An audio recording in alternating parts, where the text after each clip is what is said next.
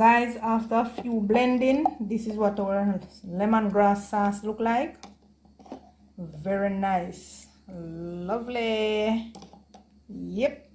So guys i'm in the process of making my lemongrass sauce.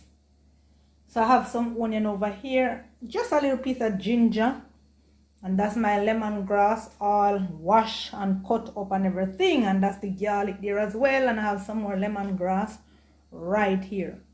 So guys i wanted to show you this. Do not use this part of the lemongrass. This part is tough. It is really tough. Yeah? So you don't use this part. So stay along with me. I'm gonna do the blending now.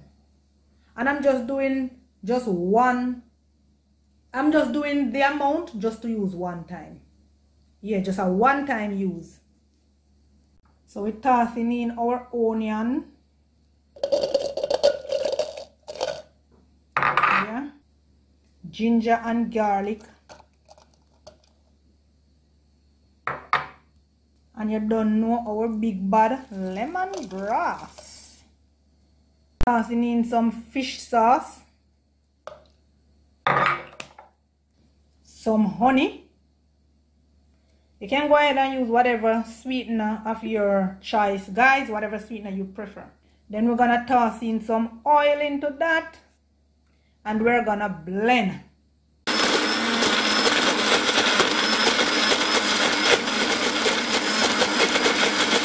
So after finish blending guys this is what our sauce our lemongrass sauce look like. Isn't that lovely? Wow this is beautiful